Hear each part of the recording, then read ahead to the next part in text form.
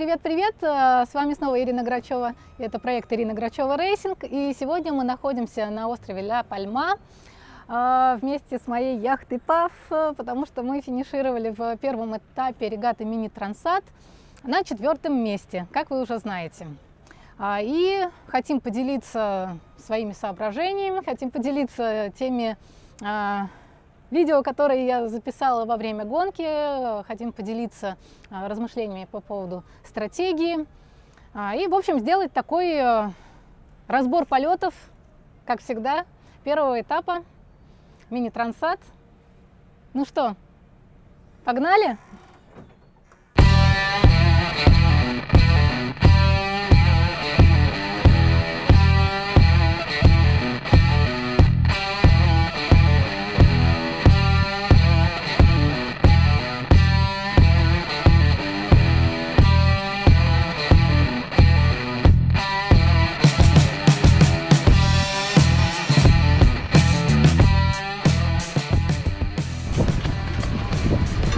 Здравствуйте. Как ваш настрой на гонку?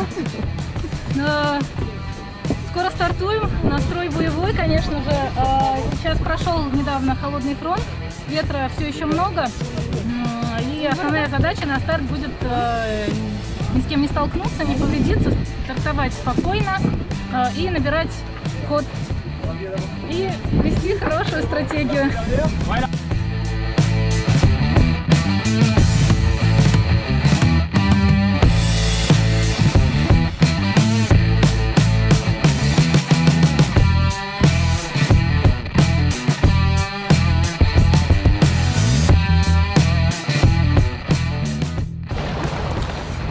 Совершенно непередаваемое чувство вернуться снова в гонку, снова идти по каналу.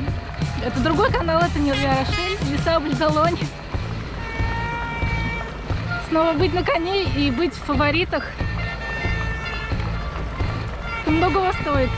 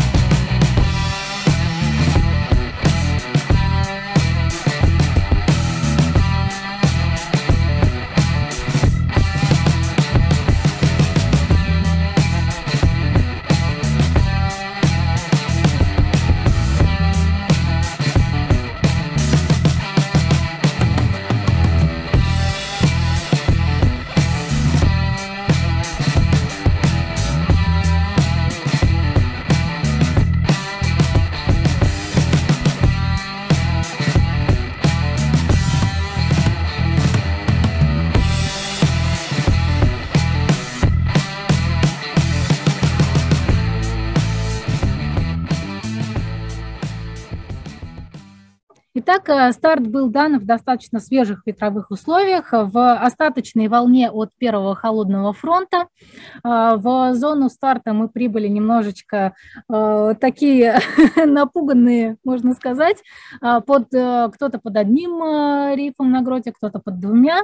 Немножечко опасались маневрировать в самой зоне старта, но в итоге для меня все оказалось достаточно просто и удачно. Я стартовала в середине линии э, с чистым ветром и уже достаточно скоро оказалась на первой марке в числе одних из первых и э, первым прототипом. Э, рядом со мной был Фабио Муцолини, который на какое-то время вырвал у меня первенство, увалившись немножечко и идя быстрее, но потом мне удалось отыграть, отжать у него все это обратно. В общем-то, выходя на старт, я уже знала э, планы на ближайшие три дня, э, планы на э, Бискайский залив. Э, все было достаточно понятно, э, все было достаточно понятно по таймингу, все было достаточно понятно по э, заходам и направлению ветра. Э, первую ночь э, ожидалось провести в каких-то э, поворотах и лавировки на осцилляциях и постепенно стремить в зону холодного фронта, встречать холодный фронт, перед которым нужно было повернуть и спешить срочно спуститься вниз к побережью Испании и к мысу Финистер. Вот, собственно, на картографии вы можете наблюдать мою лодочку ПАВ коричневым цветом. Вместе со всем флотом, как и было запланировано по роутингу, мы двигаемся в практически по генеральной линии, встречаем ночью всякие разные перетурбации с ветром, так или иначе удачно для кого-то или неудачно с ними разбираемся. Прошлая ночь э, прошла, в общем, удачно для нас. А, было очень много перетрубаций с э, небольшими облачками, со сменой ветра. А, были штилевые пятна, где крутило вообще вот так вот на 360.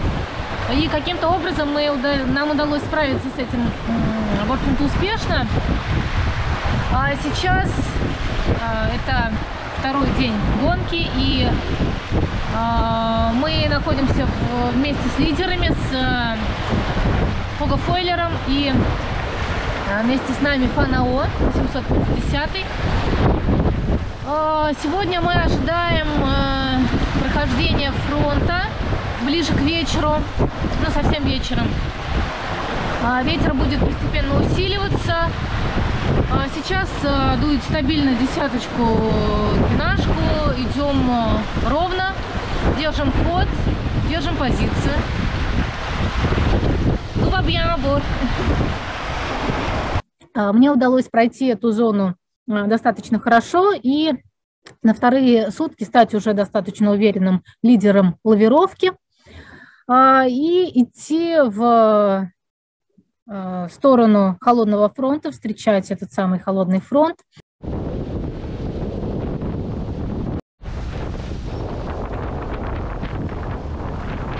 Собственно, в сам холодный фронт э, по таймингу вышло правильно не так уж много лодок. Мне повезло быть э, в числе них.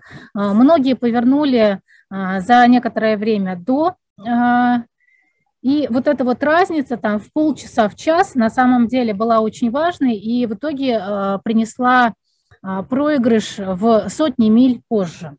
Э, поэтому, когда мы говорим о э, тайминге в роутинге, к этому нужно относиться очень-очень серьезно.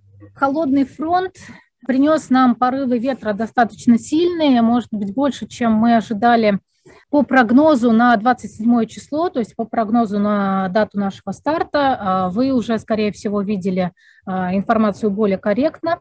А, прошло уже двое суток. И в итоге вместо ожидаемых 30-35 узлов мы получили на порывах 40-45. Самое большое, что я видела, это было 48. А, моя задача а, перед холодным фронтом была а, повернуть действительно перед ним, то есть не дожидаться захода ветра, повернуть до основного усиления.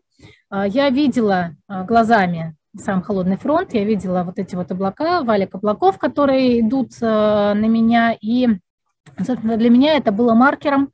На самом деле все с холодным фронтом все достаточно просто, когда ты знаешь, чего ожидать, как оно все выглядит и что с собой несет. А, холодный фронт, наверное, сейчас а, одна из самых а, простых задач в роутинге для меня. Самое важное – это тайминг, действительно, тайминг. И, собственно, моя задача сейчас была повернуть до наступления холодного фронта, до наступления темноты, поворачивала я уже в сумерках, и до прихода сильных порывов ветра, потому что повернуть в Э, при ветре 30-35 уже достаточно трудно и, может быть, э, э, могут быть какие-то аварии. Все это я успешно реализовала и спускалась с максимальной скоростью вниз. Вниз нужно было спуститься действительно очень быстро, потому что ожидала вот такое вот разделение ветров, ожидала штилевое пятно в середине, в том месте, где предполагалось, что мы будем проходить, и наша задача была спуститься э, как можно скорее к побережью, э, к северному побережью Испании и подхватить э, локальный поток восточного ветра и уже вместе с ним постараться как можно эффективнее, как можно быстрее обогнуть мысы. А, после поворота перед холодным фронтом была такая штормовая ночь. Э, в общем-то, для нас она закончилась э, достаточно хорошо. Мы абсолютно ничего не сломали. А, и Постепенно ветер начал менять свое направление, заходить с западного направления на а, северо-восточное северное направление. Но сразу после захода волна продолжала быть встречной, и потравив паруса, мы все еще имели достаточно много ветра, и скорость лодки под двумя рифами на гроте и под одним рифом на стакселе достигала 9 10 узлов, иногда э, разгонялась до 12 на порывах, а, против встречной достаточно крутой еще волны. А, лодку трясло достаточно сильно, и на самом деле было не очень комфортно, и а, я побоялась ставить э, сразу женак, код Zero. Я побоялась, что если сейчас мы ускоримся под женаком до 15 узлов, то, в общем-то, лодку тут и разберет на этих волнах, на мелкие части. Потом, проанализировав трек эм, моих соперников, я поняла, что они, собственно, были такого же мнения и точно так же а, не ставили какое-то время а, более полные паруса. А, в итоге там после двух-двух с половиной часов после смены ветра уже на рассвете волна стала более пологой и более совпадающей с направлением ветра, и я смогла поставить сначала жена.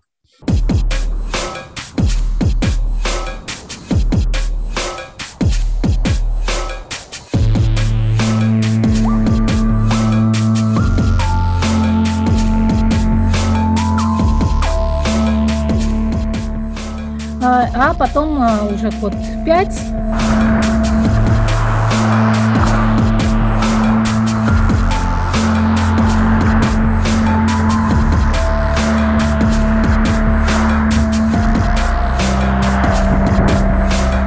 И а, постепенно ветер а, заходил все севернее и севернее, и уже мы продолжали под большими спиннокерами с утихающим ветром.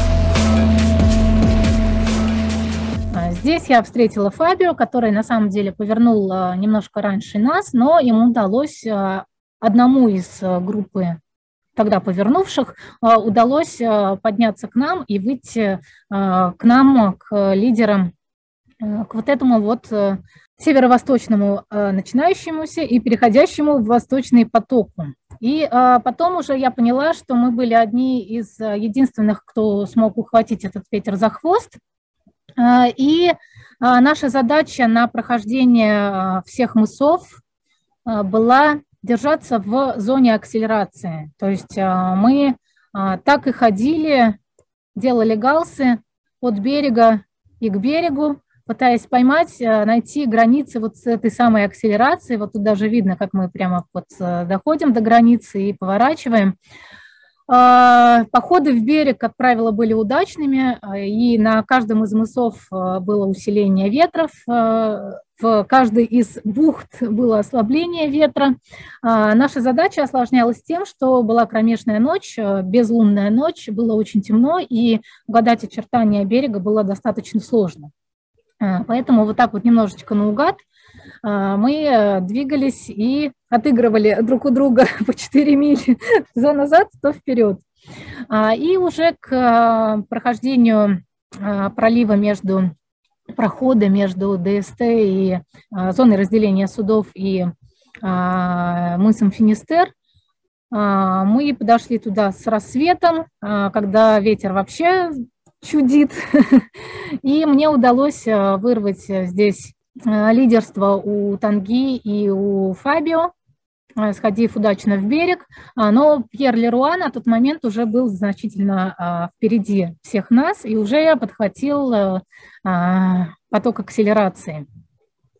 Мы тоже уверенно вошли в вот этот вот поток акселерации возле Португалии.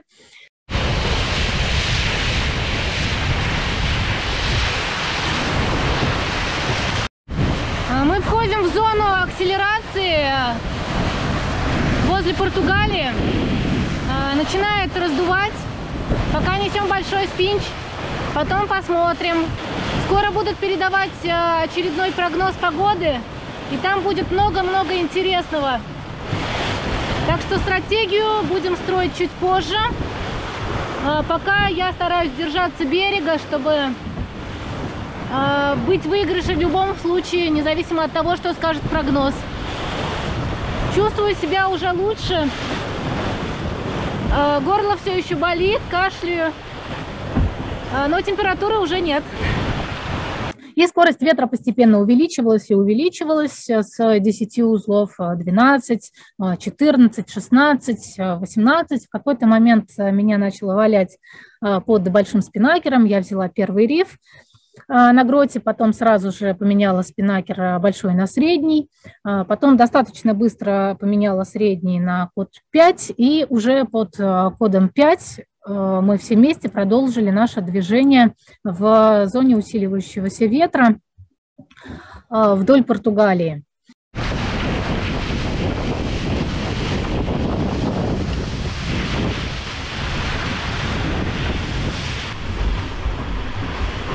От соли пошло раздражение на э, запястье. Я немножко лечу.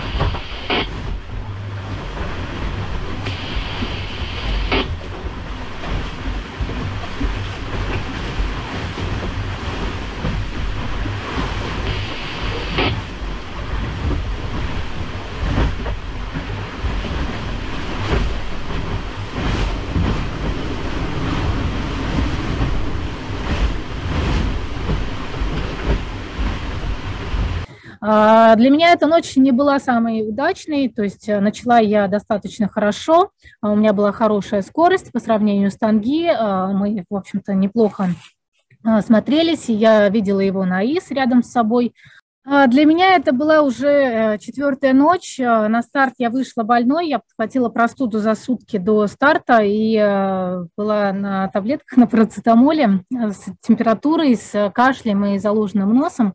И первые три ночи были бессонными. В самую первую ночь мы упражнялись с ветром, со сменами ветра и лавировались, пытаясь отыграть друг у друга каждый метр. А, вторая ночь была штормовой а, прохождение холодного фронта из 40 узлов. А, третью ночь мы боролись под спиннокерами вдоль испанского побережья. И здесь на четвертую ночь я наконец-то могла позволить себе поспать, имея стабильную скорость, имея стабильный курс под кодом 5 не опасаясь брочингов. И, честно скажу, я проспала всю ночь. Для меня это было очень важно, и в какой-то момент не отработала изменение а, силы ветра, может быть, можно было поставить уже и средний спинакер, но, а, наверное, в большой гонке тоже нужно рассчитать и свои силы, особенно если ты вот, ну, как бы не в э, самой лучшей форме, и дать себе отдохнуть. Потому что дальше я предполагала, что будет интересная стратегическая борьба, что нужно будет э, вовремя принимать решения, вовремя делать повороты. Тогда еще я наивно предполагала, что это будет стратегическая гонка, потому что э, нам передавали прогнозы с зонами высокого давления, с а, хребтами, которые ходили и так, и это по а, Атлантике, и которые я намеревалась обходить ловко, на полной скорости, обходя своих соперников.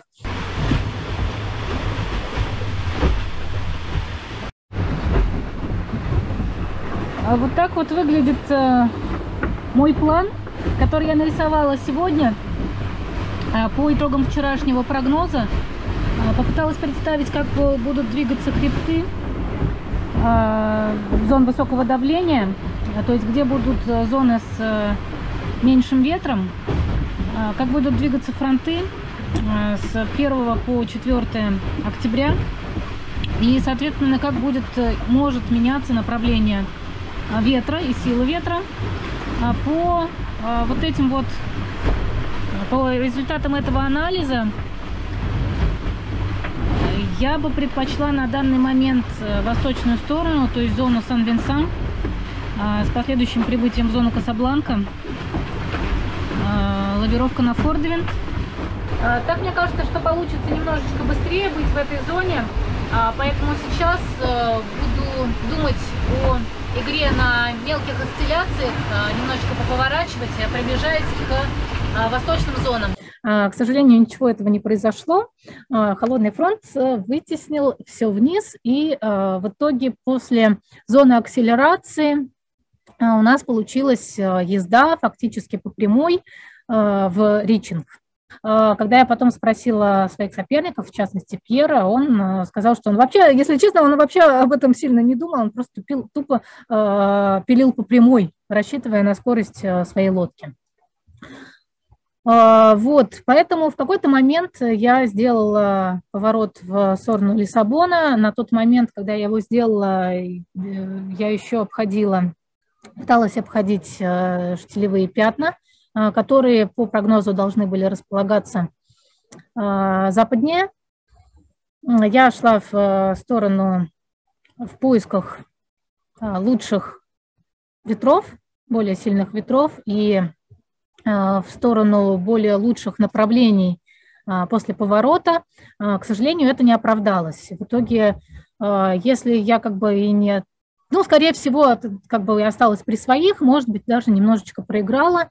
А, назвать это ошибкой я, скорее всего, не могу, потому что а, решение было принято взвешенное, решение было принято в условиях а, той информации, которая была, в условиях какой-то вот стратегической ситуации на гонке, тактической ситуации, когда я предполагала, что мои соперники находятся впереди и с наветра, и приводиться к ним в корму и тупо идти за ними это идти за ними, это а, идти в корму.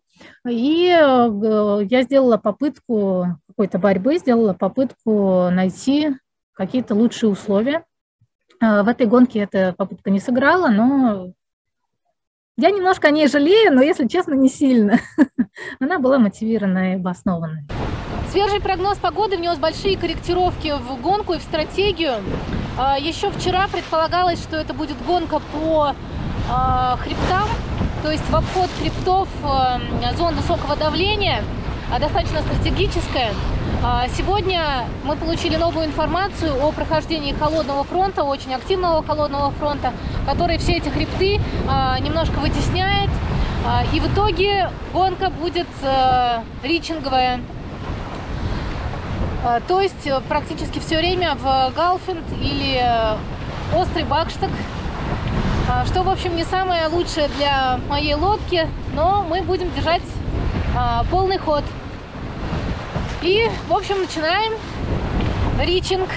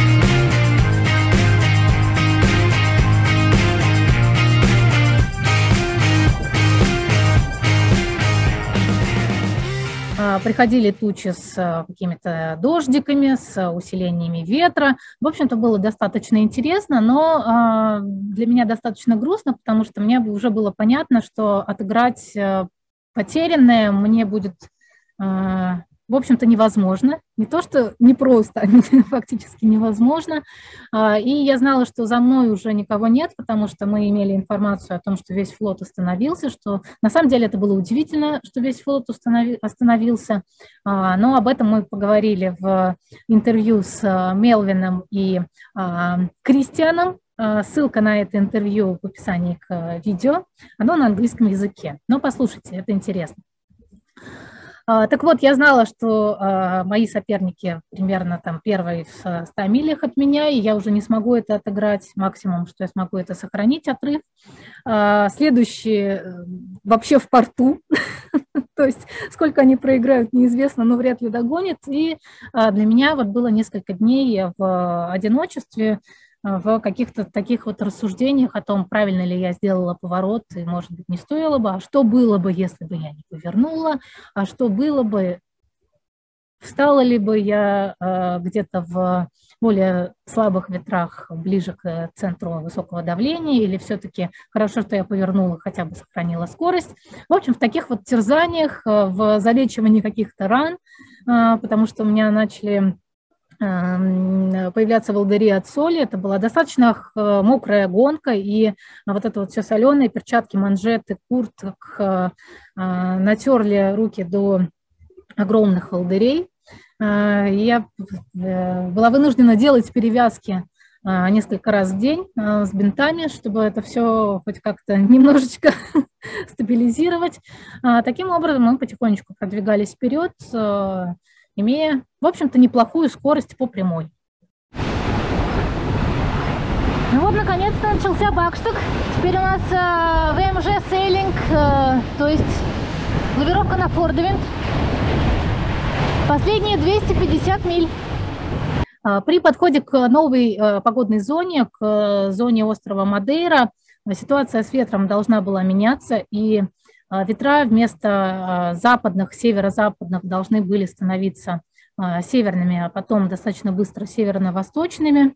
И я хотела использовать уже под большим спинакером, снова вот я хотела использовать этот момент, чтобы зайти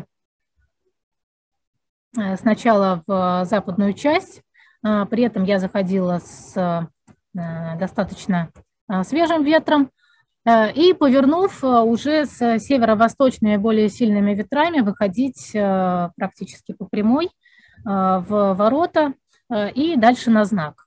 В общем-то, такая вот нехитрая у меня была стратегия на этот участок пути. По прогнозу нам обещали более сильный ветер в, именно в западной части по сравнению с восточной частью. Как это ни странно, как это вот э, в данном прогнозе видно немножечко по-другому, но информация была такой. Э, и, соответственно, я пыталась использовать направление и силу ветра, э, чтобы сократить отрыв от лидеров. Кстати, очень интересный момент, можете посмотреть, насколько сильно влияет остров Мадейра на а, ветровую ситуацию при определенных направлениях ветров, насколько большую ветровую тень она дает и насколько важно в эту ветровую тень не заехать. С одной стороны, а, с другой стороны, а, есть такая игра с островом Майдейра, это езда на акселерациях в районе ее тени, то есть вот здесь вот можно реально на осцилляциях, на акселерациях немножечко сократить отрыв, поворачивая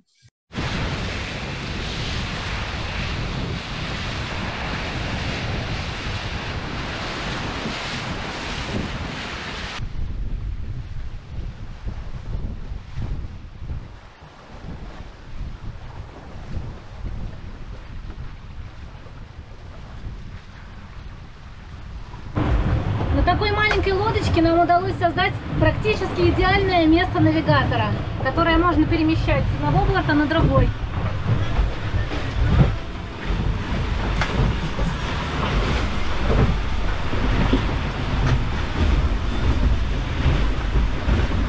А, собственно, на этом участке я показала одну из самых лучших скоростей за всю а, свою гонку. У меня было там в среднем что-то около 11, иногда 12 узлов. А, я шла, меняя а, большой спинакер на средний много раз, а, то брала риф на гроте, то отпускала на протяжении там суток, ночь и день. Ночью были облачка с шквалами, и с дождями, и с срывами потоков из-под них. Это все отрабатывалось. Собственно, ночью я тоже не спала. И на этом мне удалось развить достаточно хорошую скорость и достаточно эффективно спуститься вниз, достаточно эффективно увалиться, чтобы пройти по кратчайшему расстоянию с большой достаточно скоростью. На подходе к острову Э, естественно, остров влияет, и э, я подходила уже а, в темное время суток. А, было не видно, какие есть пятна. Я немножечко опасалась, что будет э, замедление ветра в северной части острова, поэтому подходила не с севера на юг, а с северо-востока. Вот, я старалась как бы сократить а, нахождение свое в северной части. А, и, естественно, на подходе к острову ветер крутило достаточно сильно, и порывы были от 12 до 22 узлов. И а, практически за 3 мили до финиша меня таки положило 33-узловым порывом ветра, положила в брочинг жестко, срывом с какой-то горы. У меня отстегнулась теляска на шкоте спинакера, но э, это было не очень страшно, наоборот, мне кажется, что это даже мне помогло и спасло. А, на самом деле брочиться с э, большим спинакером в 33 узла со спинакером в 90 квадратов э, на бушприте 3,8 метров, который поворотный, э, и на карбоновой мачте. Ну, в общем-то, это не очень э, комфортно, честно скажу, очень опасаешься, что что-то не выдержит, что-то сломается, особенно если учитывать мой опыт.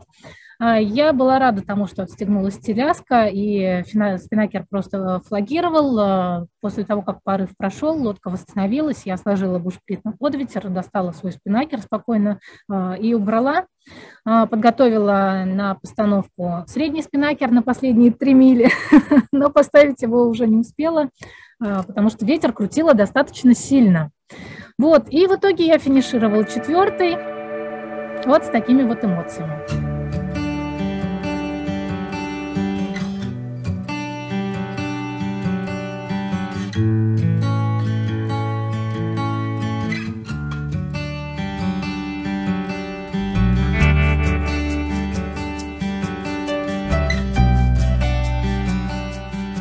I feel sad. yes, I think it's uh, it was not the best race for me, and uh, I was in a, not in the best condition myself. uh, I was very tired. I was uh, ill uh, when I started. I was ill for five days, and I was very tired. So probably I was a little bit uh, lazy to change the sails in time because I was very tired. yeah, actually, Captain Capinister was very very nice place. I liked it a lot because it was a lot of strategy uh, light winds and uh, very interesting to play with shore. Really interesting. So, как министр, вот супер.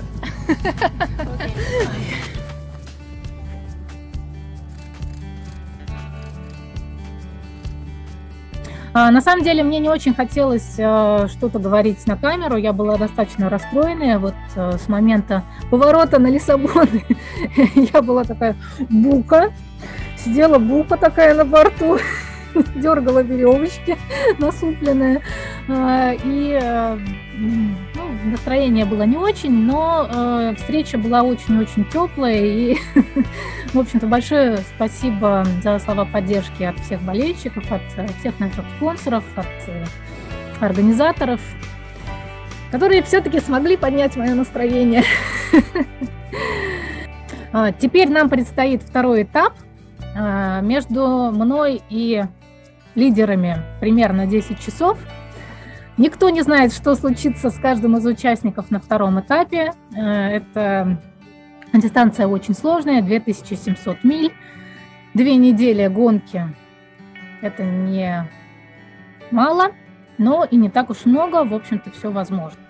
А, ну что, я надеюсь, э, что вам было интересно посмотреть на нас, что вам было интересно послушать, что, э, может быть, мы ответили на какие-то э, из вопросов, которые были у вас в голове, потому что мы понимаем, что когда вы видите прогноз на любом сайте like Windy TV или что-нибудь такое, э, у вас, э, собственно, есть вопросы к тому, как мы проходим дистанцию, но вы помните, что находясь на борту, мы не имеем ни телефонов, ни интернета, ни компьютера, ни какого-то автоматического роутинга, поэтому для нас это все немножечко выглядит по-другому, и мы стараемся найти свой самый лучший, самый быстрый путь.